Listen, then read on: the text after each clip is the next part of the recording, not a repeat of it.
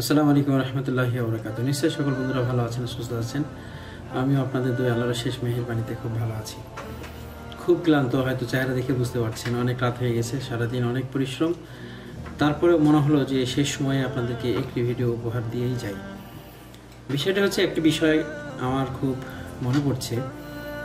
সেই সময়ে একজন স্বর্ণকারের সঙ্গে আমার কথা হচ্ছিল। তা আমি দেখলাম যে স্বর্ণকার মানে জুয়েলার্স স্বর্ণ অলঙ্কারের যারা কাজ করে, তাদের ঘরটা ঝাড়ু দিচ্ছে ওই সময়। তো ঝাড়ু দেওয়ার সময় ঘরের যেসব ময়লা আবর্জনা, সেগুলোকে বাইরে ফেলে না দিয়ে সেই ময়লা আবর্জনাগুলো তুলে একটা পাত্রে জমা করছিল। তাকে আমি প্রশ্ন করলাম যে, এগুলো বাইরে না ফেলে জমা করছেন কেন? তার উত্তর ছিল এরকম যে, আমরা যেখানে পেশাব করি, সেই মাটিটাও কিন্তু কেউ কিনে নিতে চায়। বিষয়টা হচ্ছে যে, মূল্যবান বস্তু সবসময় মূল্যবান। হাতি মরলেও লাখ টাকা। তো তার কারণ হিসেবে আমি তার কাছে প্রশ্ন করলে প্রতি উত্তরে সে আমাকে এভাবে বুঝিয়েছে, তারা যেহেতু স্বর্ণের কাজ করে এবং স্বর্ণ ঘষা মাজা করতে করতে স্বর্ণের কুচিগুলো বিভিন্ন জায়গায় পড়ে থাকে, তো তারা যে কাজ করে সে কাজের ছাই এবং ঘরের আবর্জনা, এমনকি তার শরীরের যেসব পোশাক আশাক আছে সেগুলোও নিলামে উঠ- যায় অনেক সময়। তো মূল বিষয়বস্তু হচ্ছে যে আমরা মোবাইল ফোনের কাজ করি। মোবাইল ফোনের অনেক সময় দেখা যায় যে কিছু কিছু ফেরিওয়ালা আমাদের ঘরে আসে এবং আমাদের কাছে আমাদের পরিত্যক্ত মাদারবোর্ডগুলো নষ্ট মাদারবোর্ডগুলো কিনতে চাই। আর সেগুলো আমরা কেজি দরে বিক্রি করি। অনেক সময় দশ টাকা, পনেরো টাকা, বিশ টাকার জন্য এক একটি মাদারবোর্ড তাদের কাছে সেল করি। বিশ্বাস করবেন না, আমি একটি ডেড বডি কিনেছিলাম তিনশো টাকা দিয়ে, যেখান থেকে আমি ছয় হাজার টাকার উপরে ইনকাম করেছিলাম। একটি নষ্ট সেট থেকে। এটা পসিবল যার কারণে আমরা যে সেকশনে আছি, সেই সেকশনে আমাদের ফেলে দেওয়ার কিছু নাই। আমরা পুরানো সেটগুলোকে খুব সংরক্ষণ করে রাখব। এগুলো আমাদের স্মৃতি হিসেবেও কাজে লাগবে এবং অনেক সময় খুচরা পার্টস যেগুলো আছে, যেগুলো আমরা বাইরে কিনতে পাই না সেগুলো কাজে লাগবে। এই মুহূর্তে এই ধরনের একটি কাজ আপনাদের সামনে উপস্থাপন করতে যাচ্ছি। আশা করি ভিডিওটি দেখলে আপনাদের ভালো লাগবে। আসুন আমরা ভিডিওটি দেখি।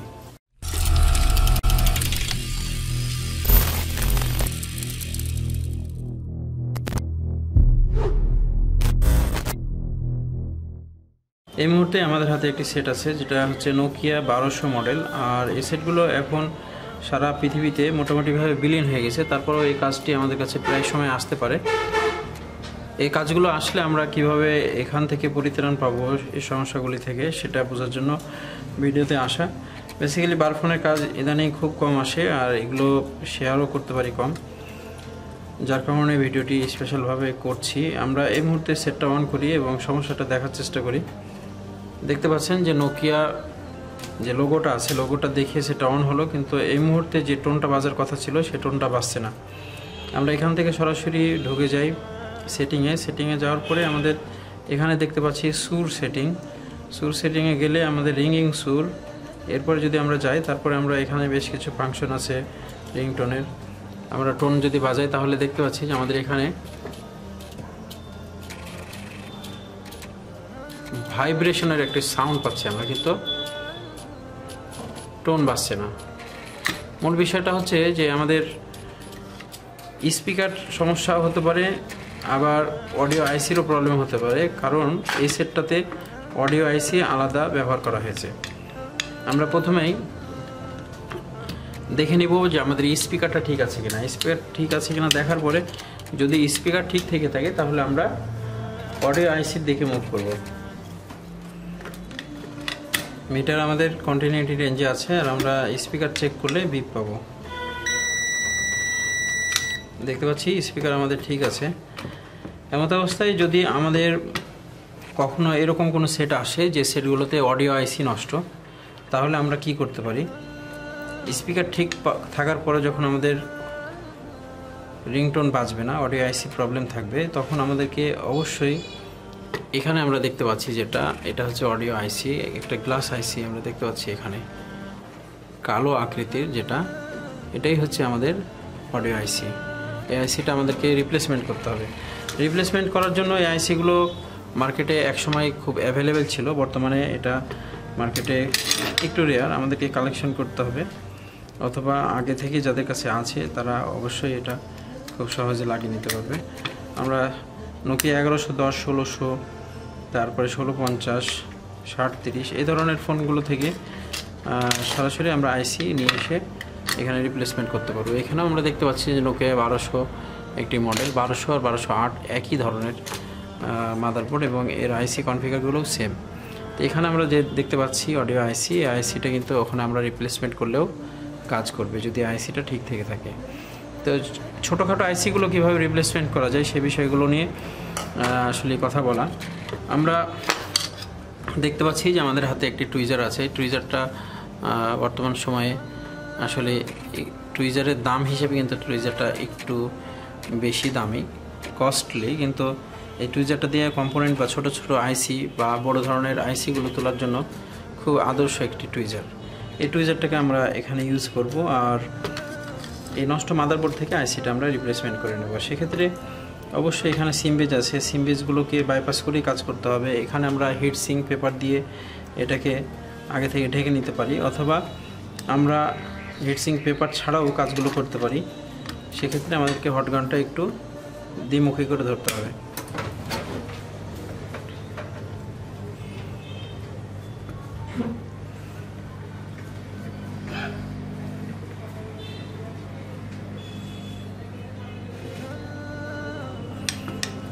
এই অডিও আইসির পাশেই আমরা দেখতে পাচ্ছি দুইটা কয়েল আছে। কয়েল থেকে লাইনগুলোকে আউট করা হয়।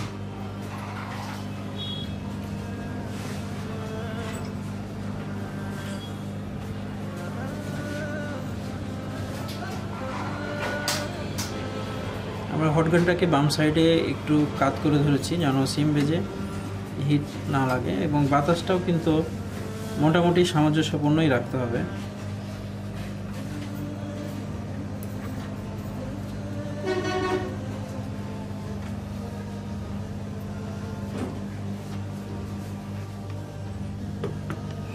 এই অডিও আইসিগুলো আমরা সরাসরি আয়রনের মাধ্যমেও তুলতে পারব, ইচ্ছা করলে।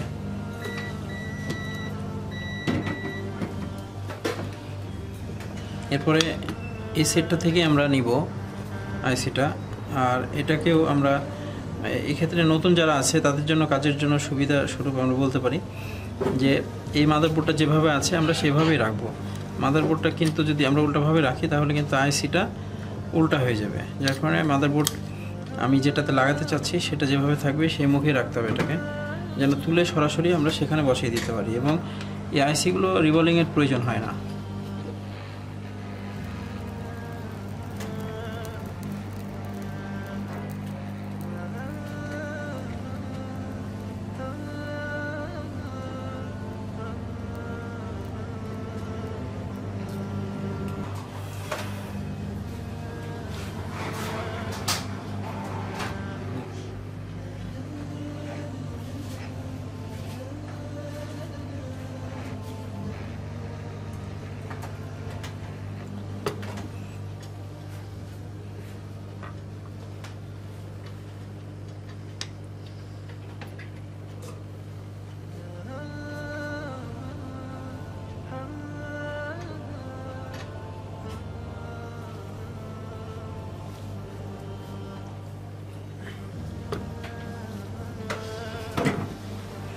মাদারবোর্ডের নিচে বল ছিল, আর সে বলে আমরা এখানে আইসিটা কানেক্ট করেছি। কিন্তু এই ক্ষেত্রে যদি আমাদের বলগুলোকে আমরা উঠিয়ে নিতে পারতাম আয়রন দিয়ে, তারপরেও কিন্তু আইসিটা কানেকশন করা যেত। কারণ ছোট সাইজে যে যে আইসিগুলো হয়, এগুলো নিয়ে রিবোলিংয়ের প্রয়োজন হয় না এবং এগুলো সরাসরি মাদারবোর্ডে কানেকশন করা যায়। এই ক্ষেত্রে তেমন কোনো ধরনের ইফেক্ট হয় না। যেহেতু আইসি লাগানো হয়ে গেছে, আমরা একটু দেখে নিই যে আমাদের মাদারবোর্ডে লাইনটা সাপ্লাই হয়েছে কিনা। যদিও বা যে সমস্যা ছিল, এই সমস্যার কারণে মাদারবোর্ডে লাইন সাপ্লাই কখনোই ব্যাহত হয় না। সাপ্লাই থাকে, তারপরেও কিন্তু কার্যক্রমগুলো বন্ধ থাকে। আমরা এখানে দেখতে পাচ্ছি, রিডিং আছে তিনশো বারো তিনশো বারো, দুটাই রিডিং পাচ্ছি আমরা। যেহেতু দুটাই একই ধরনের রিডিং, তাহলে আমাদেরকে দেখে নিতে হবে এরকম পর্যায়ে যে আমাদের এটা বিপ দেয় কিনা।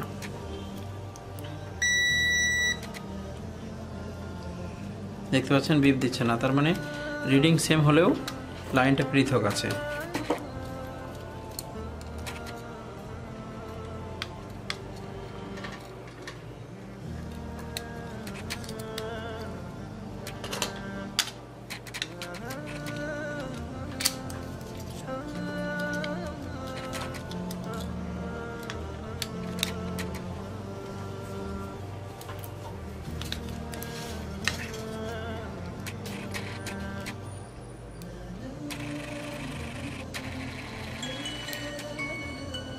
অন হয়েছে এবং যে নোকিয়া লোগো আসছে লোগো দেখানোর সাথে সাথে আমরা টোন পেয়েছি। আবারও আমরা সেটিংয়ে ঢুকে আমরা টোনটা একটু বাজিয়ে দেখি যে আমাদের টোনের সাউন্ডটা কেমন।